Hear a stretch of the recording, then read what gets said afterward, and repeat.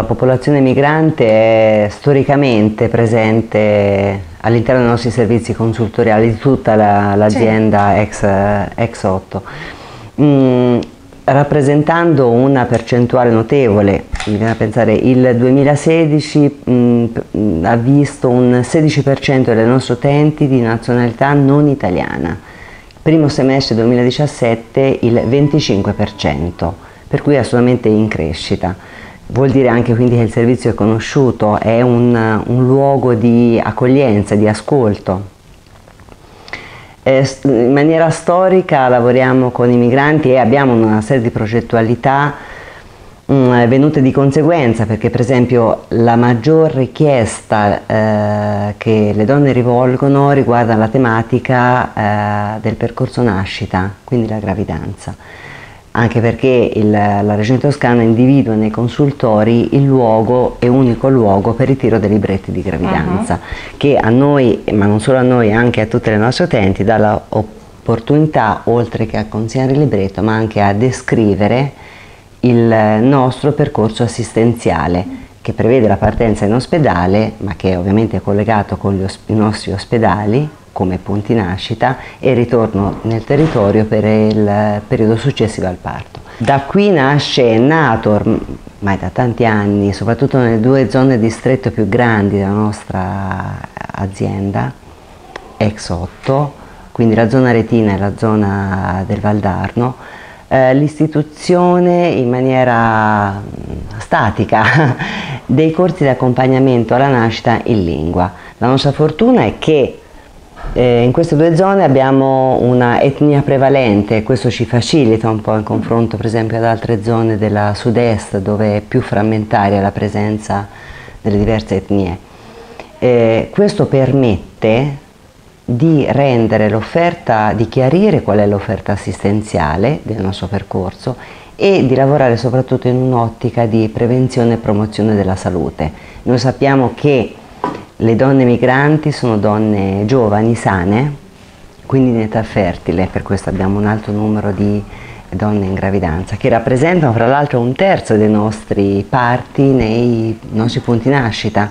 La figura del mediatore linguistico-culturale, figura indispensabile non solo per la possibilità di poter tradurre quello che io sto dicendo e ascoltare quello che mi viene detto, che eh, è una delle l'esigenza eh, prioritaria, principale, ma la grossa parte sul lavoro e sull'interscambio culturale.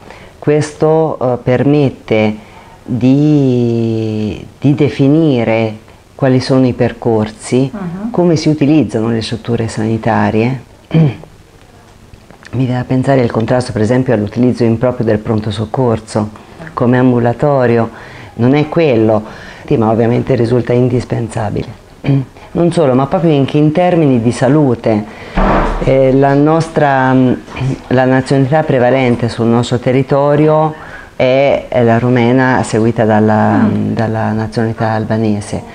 Con queste utenti non riusciamo senza difficoltà a comprenderci quindi la prima nazionalità non più presente ma con la quale abbiamo difficoltà linguistica è sul territorio aretino eh, la nazionalità bengalese, con le quali comunichiamo invece eh, con il mediatore linguistico culturale. Su questa, eh, la, Bengale, la, nazionalità bengalese sulla zona distretto di Arezzo, quindi sul consultorio di Arezzo, è l'indiana per la zona distretto per esempio Valdarno. Questo ha fatto sì che si concentrassero nei consultori di queste due zone corsi in lingua per queste nazionalità. Bengalese su Arezzo, indiano su Valdarno.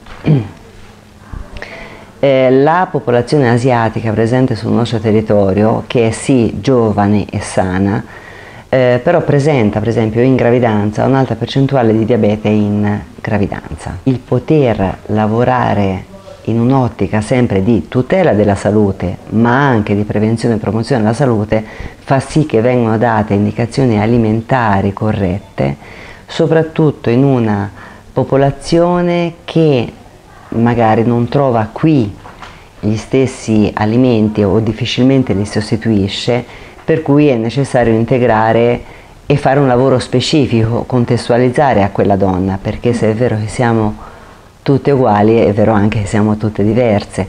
La conoscenza che ha permesso di ottenere la presenza dei mediatori linguistici culturali nell'equipe consultoriale, ovviamente in maniera programmata, mh, mm, ha fatto sì di formare anche gli operatori e riuscire appunto a contestualizzare l'intervento per non vanificare comunque lo sforzo fatto nel comunicare cose però che non potrebbero arrivare se non contestualizzate. Questo è stato determinante. Eh, per quanto riguarda le progettualità che abbiamo fatto per esempio nel passato, sempre a riguardo della gravidanza, ma in questo caso dell'interruzione volontaria della gravidanza a contrasto, eh, a contrasto con l'idea di eh, ridurre il numero, lavorando in un'ottica di tutela della salute, è stata fatta ehm, su un'etnia e su una nazionalità specifica dell'est Europa che aveva questa caratteristica, era inizialmente una nostra sensazione confermata dai, dai, dalle statistiche con l'utilizzo di per esempio IVG ripetute. Attraverso la mediazione linguistico-culturale eh, abbiamo fatto un lavoro, eh, abbiamo ottimizzato una progettualità che prevedeva un lavoro da fare assieme alle donne eh, di quella comunità, agli operatori consultoriali per cercare di capire come intervenire perché probabilmente l'approccio che noi avevamo con una donna di nazionalità italiana eh, pur eh, essendo fatto in maniera molto professionale non eh, otteneva gli stessi risultati su una donna di un'altra nazionalità specifica dell'Est Europa. Questo nel tempo, perché poi le cose culturalmente occorre del tempo per modificarle, ha portato a un decremento significativo di questa percentuale quindi lavorando sulla contraccezione e quindi sulla prevenzione. Abbiamo fatto un lavoro che passa dagli operatori dell'accoglienza per l'appunto, eh, in integrazione sia con le donne che con gli operatori del consultorio. Abbiamo fatto degli incontri che erano assolutamente di conoscenza. Eh, ovviamente ogni gruppo di accoglienza, ogni associazione rivolgendosi rivolgendosi al consultorio della propria zona di stretto, questo per facilitare, perché l'obiettivo è quello di rendere queste donne autonome, quindi il luogo più vicino per loro, ehm, quindi spiegando chi siamo, dove ci possono trovare, quando ci possono trovare e per quali tematiche ci possono trovare, e legittimando il fatto anche che il servizio consultoriale risponde a, delle, a tutta una tipologia di prestazioni di servizi, ma può essere anche il luogo di orientamento per altri. Mi viene a pensare il codice rosa, eh, anziché tutto quello che può riguardare i problemi di dipendenza di quella persona o di persone a lei, vicina, a lei vicine.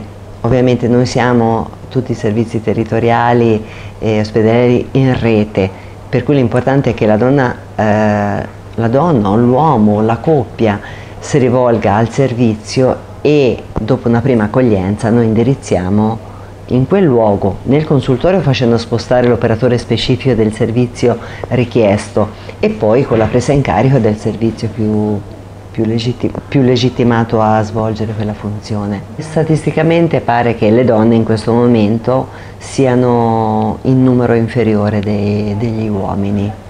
Abbiamo notato che nel tempo più le donne di altre nazionalità, mi riferisco in questo caso per esempio alle donne bengalesi, eh, non lavoravamo quasi per niente sulla, sulla contraccezione, era difficile poter, eh, ne parlavamo, ma ottenendo oh, poco ascolto, poca condivisione della problematica.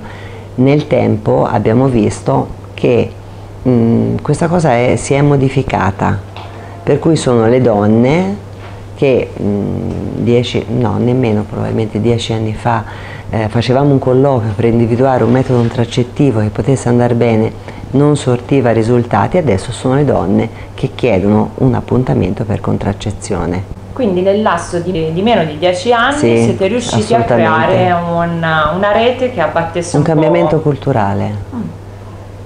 Questo, ripeto, grazie all'integrazione nelle equipe consultoriali dei mediatori linguistico-culturali. Sono figure fondamentali non solo per appunto, la traduzione linguistica, ma mh, è, è ovviamente facilmente pensabile perché arrivare in un posto e trovare un connazionale che capisce quello che io dico e che, e che mi conduce nei, nei percorsi è una figura molto fiduciaria la mediazione, per cui deve essere anche una persona ovviamente riconosciuta dalla comunità, riconosciuta dalla eh, accreditata. Deve esserci un rapporto di fiducia. Assolutamente, anche. un rapporto fiduciario significativo, altrimenti non, eh, è solo una traduzione linguistica.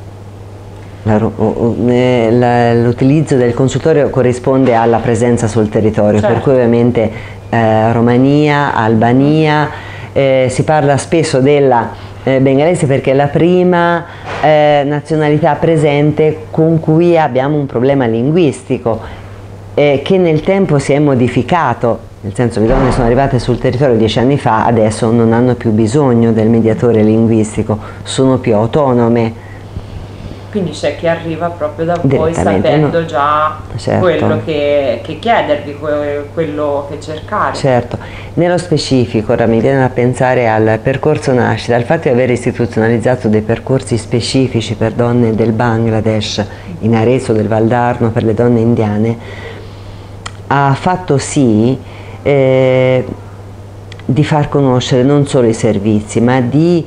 Eh, come dire, di, eh, eh, di, come dire, di comparare la possibilità di scelta delle donne. Allora, percorso nascita. Eh, del percorso nascita c'è un incontro, dei, degli incontri previsti con un anestesista che descrive, faccio un esempio, la possibilità delle donne di poter scegliere in maniera libera, come ha istituito la regione toscana, eh, se fare in travaglio di parto la partonalgesia.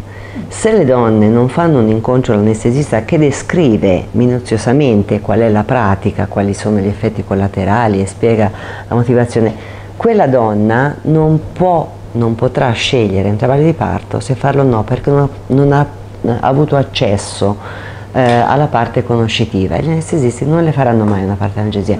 Il fatto, noi sappiamo benissimo il fatto di aver istituito dei corsi di accompagnamento alla nascita e di aver integrato la figura dell'anestesista mette alla pari una donna bengalese ad una donna italiana di fare le sue scelte.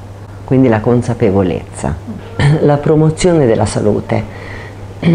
Un'altra cosa, si parlava prima dei corsi di accompagnamento alla nascita, però un altro luogo che era disabitato dalle donne straniere era lo spazio mamma per la promozione e il sostegno dell'allattamento al seno, che era abitato solo da donne italiane eh, è cambiata molto questa situazione, riferito soprattutto anche alle donne asiatiche e questo vuol dire tanto in termini di promozione della salute, non solo per sostenere l'allattamento al seno, ma tutto quello che significa anche il contatto, quindi va a sfociare nella genitorialità, in una genitorialità responsabile.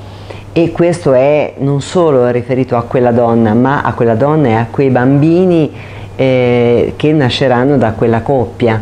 Ci sono già le seconde generazioni che noi incontriamo a questo punto però negli spazi dedicati ai più giovani.